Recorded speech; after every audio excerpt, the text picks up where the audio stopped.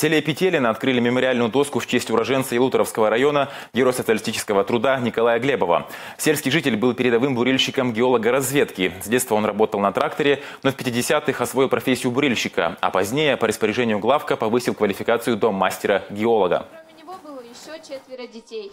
В 14 лет В основном приходили там рабочие из вот э, деревень тюменских, те, которые приходили от земли, те, которые понимали эту жизнь и знали там, как выйти из того или иного положения.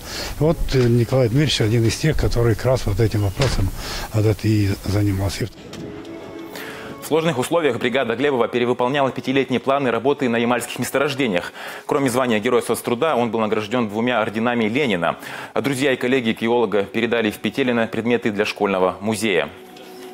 Мы знаем, что в этой школе будет музей тоже геологии. И, конечно, наверное, в перспективе мы здесь увидим, что из этой школы э, выйдут новые геологи, новые открыватели, первооткрыватели э, других месторождений, которые также нужны нашей стране, нашей Тюменской области.